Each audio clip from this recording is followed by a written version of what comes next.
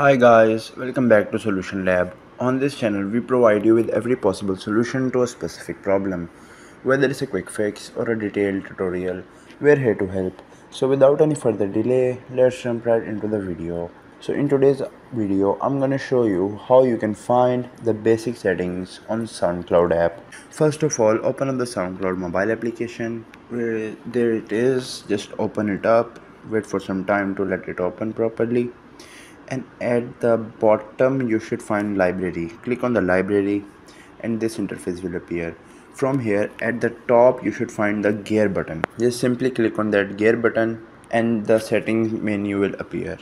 From here if you want to go for basic settings number three option you can see is basic settings. Click on the basic settings and as you can see the basic settings are appearing.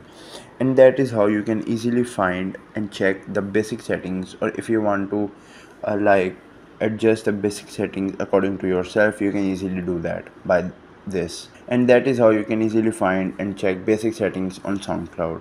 I hope this tutorial was helpful. If it was please give it a thumbs up and consider subscribing to Solution Lab for more helpful tutorials. If you have any queries leave them in the comments below. Till then take care see you next time.